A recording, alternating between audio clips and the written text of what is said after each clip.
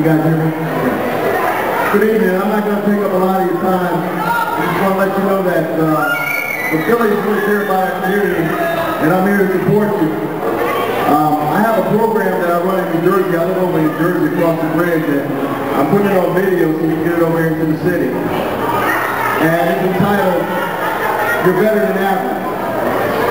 Okay? Take personal pride in yourself as an individual and make things happen. I'm here to tell you, I grew up in Washington, D.C., in the city. If I could get your attention, please. You know, I'm going to sit up here and talk, you know, if I can touch one person, I've done my job. That's the way I do it, because I do this all the time. Because I have friends and family members who are behind bars now because they didn't want to listen to this message. So I'm going to get this time whether you want to listen to me or not. First thing is,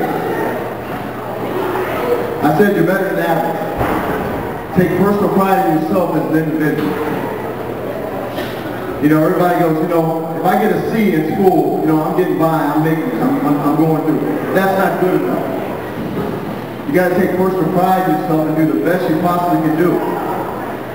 You know, if I, if I have a C this grade period, I got a C, but you know what? I'm not where I need to be. I always set goals for myself as I came up through school, and I, am still setting goals for myself now. Um, I got through baseball, and now I'm, uh, you know, I played in the big leagues, and now I'm coaching with the Phillies. I'm the hitting coach for the Phillies right now. But one day I'm going to be a manager in the big leagues because I'm not stopped. I, I haven't reached my goals yet, so I keep, I keep trying. I never give up. I always stay positive. And I'm going to backtrack a little bit and tell you a little bit about that road to the big leagues. Okay? You guys see these guys making all this money up there in the big leagues saying, man, they make like, you don't know about the road to get there. Okay? It takes a lot of hard work. It takes a lot of dedication. And it's not pleasant. I'll tell you right now, it's not pleasant at all. You know, being, being a guy coming from up north in Washington, D.C., and you sent out down south, you're by yourself, and you got to grow up in a hurry. And you don't make a lot of money in the minor leagues. When I signed a professional contract back in 1979, I'm telling my age a little bit here, I made 600 a month. And that was it for baseball, 600 a month. You know, you see these big salaries once you get up to the big leagues. Those guys in the minor leagues, they're not making a lot of money. But you know what? I'm here to tell you that dreams come true. But you gotta make it happen. You gotta make it happen. I started, I started back in about the fifth grade. I looked at myself one day and I said, you know what? Where do I want to be when I grow up? So I set three goals for myself at that time. I wanted to be a football player. I wanted to be a policeman. I wanted to be a teacher. And I ended up being a baseball player. But the point was, at that time, I said, what do I want to do? I said, three options for myself. And in order to reach any option, in order to be successful in life, it starts with an education. You know, you guys go to school five days a week. Do you understand that is your job? Your job is to be the best student you possibly can be. Monday through Friday. That's your job. Get up in that school and buckle down. Now, if you show up to class without paying for pencil, books, the proper tools to make yourself a better person, you're only cheating yourself.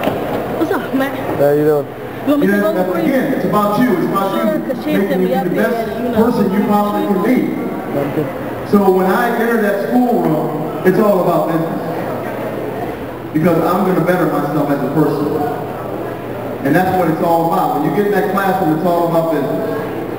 You got plenty of time to do your things and whatever after school's over. But from the time you enter that classroom, that school, the time you leave out, it should be all about business. Because you know what? That's about bettering you as a person. That's what it's all about. Getting an education. You know, they can't take an education away from you.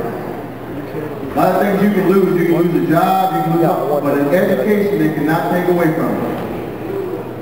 So remember that.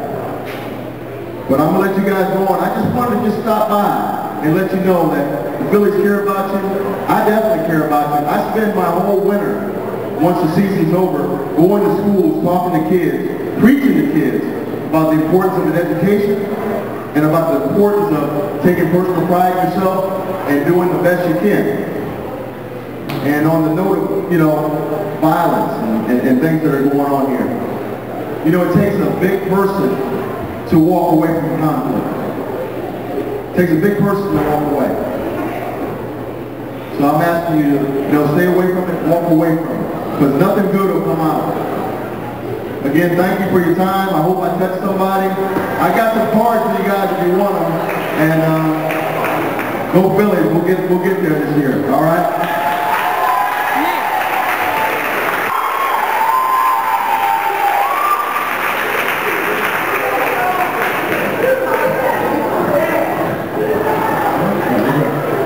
First, I'd like to thank Camille from Rocawear for coming to join us tonight. If you not have a lot of children who have donated for the Rocawear for us, so thank you very much. I'd like to thank Bill Cox for just Mr. Borthwick coming down from the Phillies organization, and Don Tollefson who came earlier today to speak. And uh, if you're around the applause for the kids who came out here today to perform.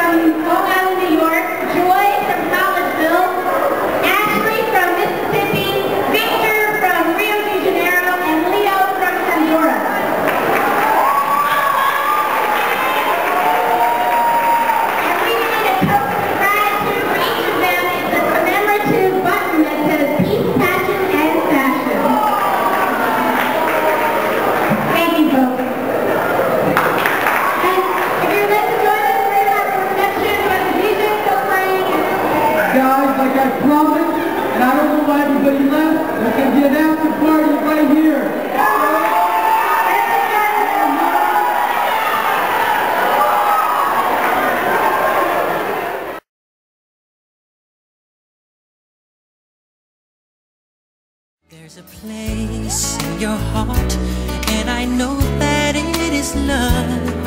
And this place is much brighter than tomorrow. And if you really try, you'll find there's no need to cry. In this place, you feel there's no hurt or sorrow.